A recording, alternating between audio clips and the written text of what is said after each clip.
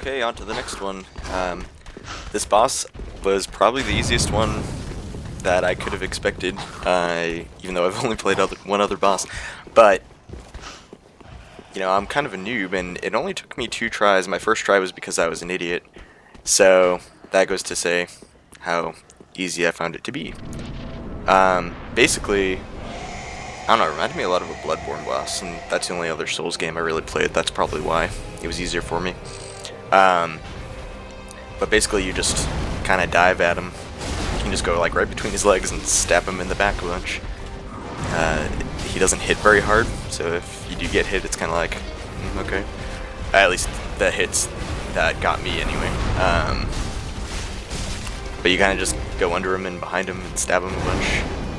And then eventually he'll charge up and start like doing this crazy dash across the whole area at you. And as a thief anyway, it's really easy because you just dodge left and right um, as that happens.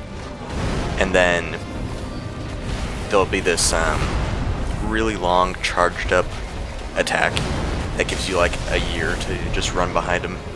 So when that happens, you just go behind him and get a ton of free hits in. And that's really it. Um, I'm gonna stop talking because there's not really much else to say. Just stay behind him and, or under him and stab him. So I hope you enjoy it.